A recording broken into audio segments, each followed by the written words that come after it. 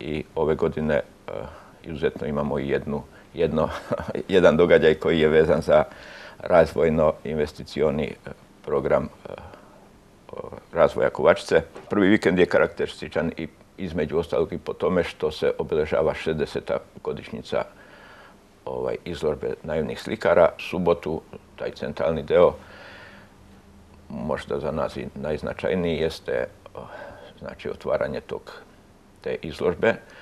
Isto bi napomenuo da se u okviru istog programa obeležava i 20 godina od postojanja privatne galerije Babka. To će biti znači zajednička manifestacija u dvorištu e, galerije. Imaćemo i značajne goste na ovom otvaranju. To će pre svega biti predsjednik pokrajinske vlade, gospodin Bojan Pajtić. Biće tu ministar republički za kulturu, gospodin Marković, a također će biti i njegova ekscelencija, gospodin Jan Varšo, ambasador Slovačke republike u Srbiji. Posle, tog događaja uh, preselit ćemo se na, lokaciju prema Debeljači, znači na kraj, na kraj naseljenog mesta, pored Novog puta, gdje ćemo e, obeležiti početak izgradnje kanalizacijone mreže, odnosno postavljanje kamena temeljca za kanalizacijonu mrežu. Ona konačno kreće, znači posle Kovačkog oktobra počinje sa radovima.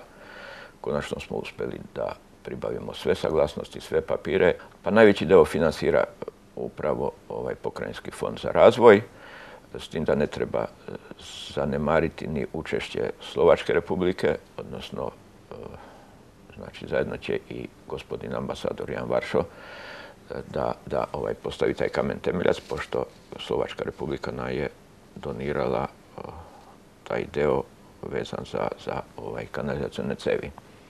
E, poslije toga smo planirali da se u sali mesne zajednice u Kovačica održi svečana sednica Saveta mesne zajednice, tu će, bit će to malo ovako svečanije karaktera, ali u svakom slučaju tamo će da se prezentira rad mesne zajednice i aktivnosti koje su ovaj, protekle u periodu od prošlogodišnjeg oktobra do, ove godine.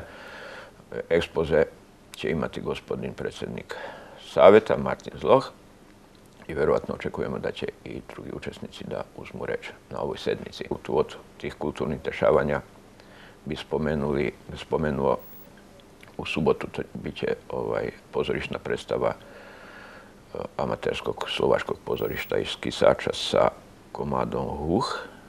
To će biti u sali Doma kulture. I normalno posle ovaj, te predstave, već tradicionalno u, dvorištu osnovne škole, eh, organizovali smo trodnevnu, da kažem, eh, ovaj, zabavu